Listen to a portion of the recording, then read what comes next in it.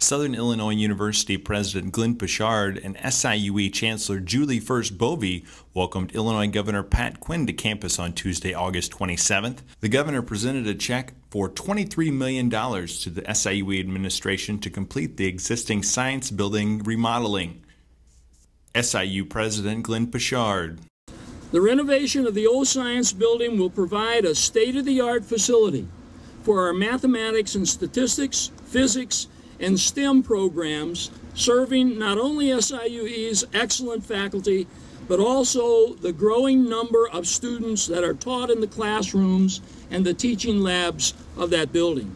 That's what the science building is all about. We're taking the older building, we're going to renovate it from top to bottom. We have a new science building as well. And when you take a look at this whole complex, we really, really believe in what's called STEM education in Illinois. Science, technology, engineering, math.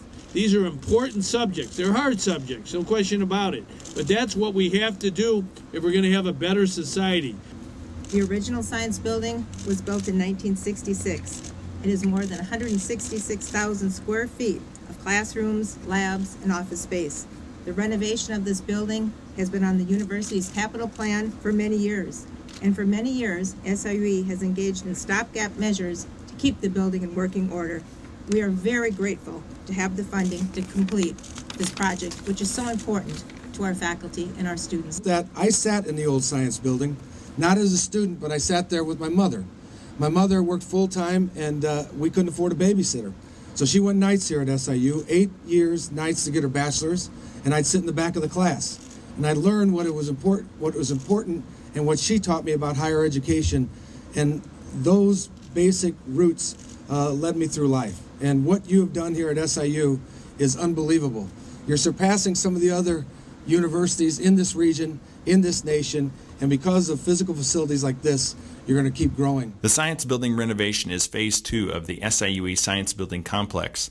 The recently completed $52 million new science building has provided space for classrooms and laboratories, as well as space for faculty and student research initiatives in the state of the art learning environment. The renovations of Science Building East and the addition of Science Building West will create a fantastic science complex here at SIUE. For SIUE News, I'm Chris Bray.